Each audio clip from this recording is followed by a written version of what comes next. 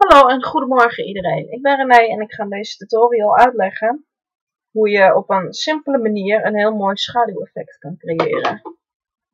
Nou, om te beginnen heb ik hier een tekeningetje van mezelf als duif. Dat is natuurlijk heel leuk.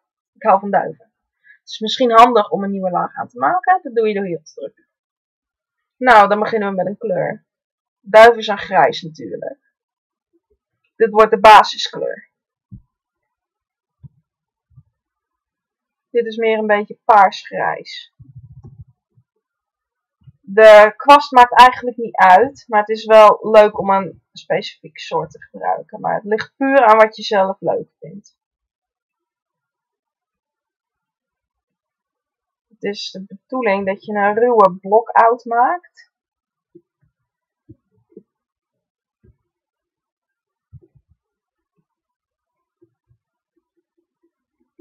En dan volg je ongeveer de contouren van het personage.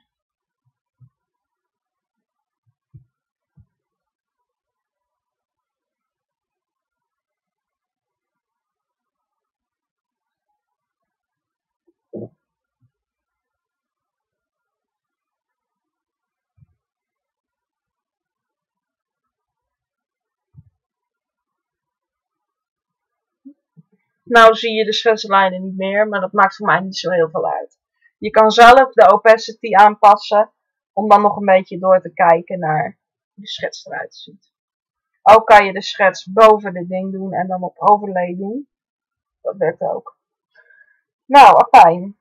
Dan gaan we nu eventjes met hele donkere kleuren een beetje de contouren aanscherpen. Mijn duifje die heeft hele dikke armpjes. Maar dit is niet per se een, een character design ding. Dus je kan echt dit in principe bij elk personage toepassen. Dit zijn in het algemeen ruwe hulplijnen.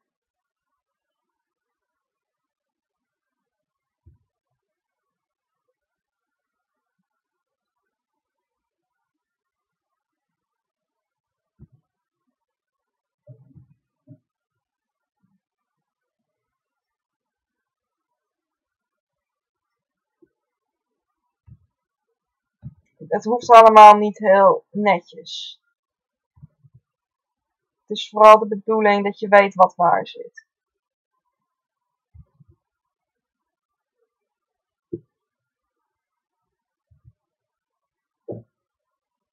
Kort.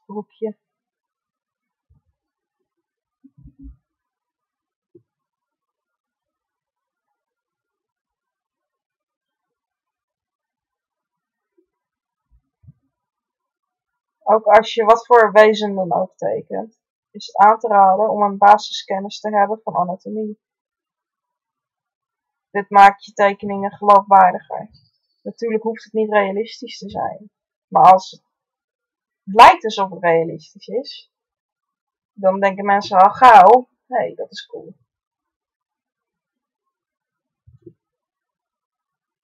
Oké, hier hebben we een ruwe outline van ongeveer hoe de duik eruit zal zien. De opacity kan weer naar onder. Nou, dan nemen we de kleur hier. Ligt eraan waar je de aandacht op wil vestigen. Als je de aandacht wil vestigen op het gezicht, moet je daar de meest heldere kleuren gebruiken. De meest saturated kleuren. Gesatureerd. Dat is dus helemaal rechts. Hoe minder gesatureerd, hoe meer die naar links gaat. Dus voor het lijf kan je al gauw wat saaiere kleurtjes gebruiken. Omdat dat niet per se hoeft op te vallen, tenzij je echt heel belangrijk vindt dat iemand bijvoorbeeld de voeten ziet. Maar dat is weer een heel ander verhaal.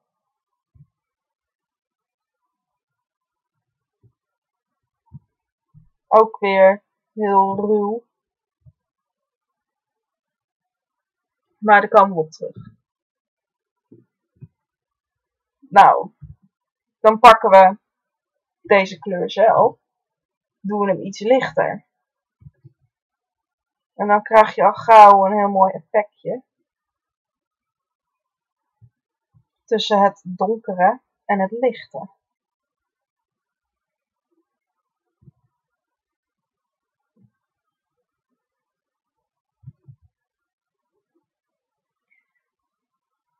Doen hem heel gesatureerd en dat doen we dan een beetje in het koppie.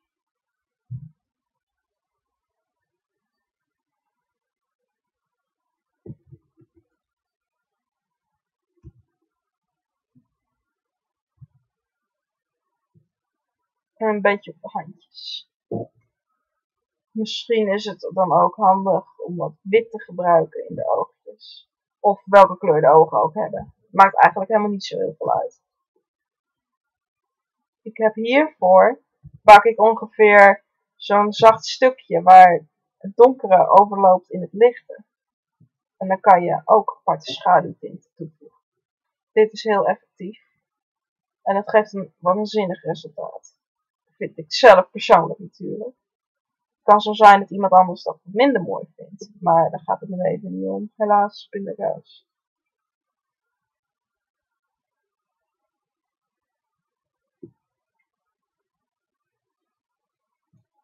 Nou, fijn. Nou hebben we dus een duif. Hij is heel rommelig nog. Maar je kan er zoveel tijd in steken als je wilt in zo'n tekening. Let erop om dan ook echt die tussenkleurtjes echt te gaan color pikken met het pipetje.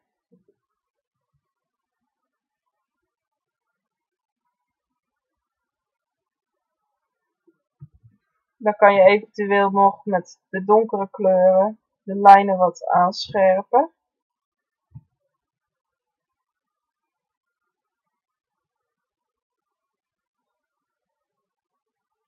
En bij de echt donkere gedeeltes wat extra lijntjes doen.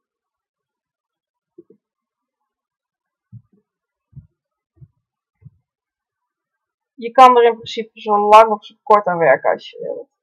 Maar met deze stijl vind ik al heel gauw dat het er heel mooi uitziet. Zelfs al zit er niet heel veel tijd in. De perfectie in het imperfecte, zeg maar. Dan is het ook heel mooi om dan een paar highlights toe te voegen.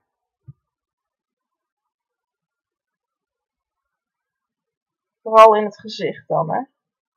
Nou, het maakt niet uit eigenlijk waarop. Het ligt eraan waar je de aandacht op wilt vestigen. Vraag me niet waarom deze duif haar heeft. Ze wilde gewoon een beetje modern uitzien.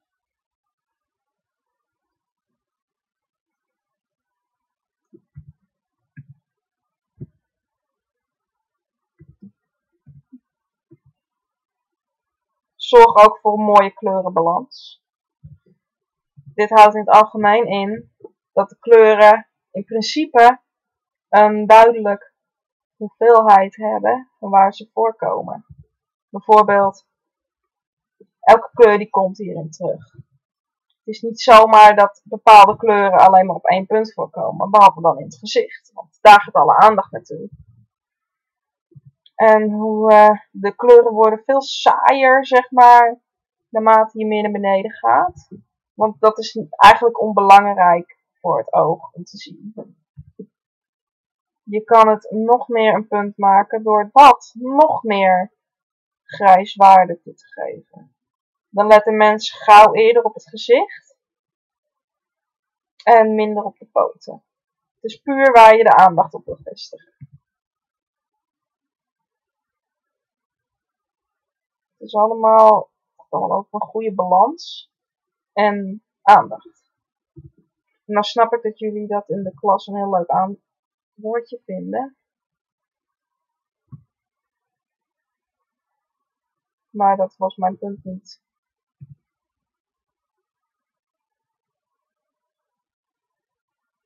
Mijn punt is dat het dus kleur kan tekening maken of breken. En ik hoop dat in dit geval het een beetje heb gemaakt. Hier hebben we een hele verwarde duif.